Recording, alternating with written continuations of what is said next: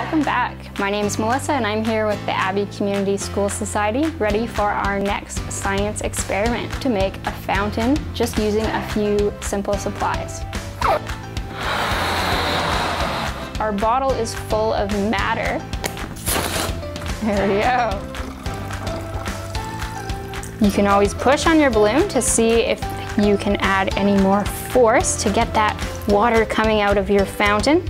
I hope you enjoyed this, this experiment today and I hope to see you next time.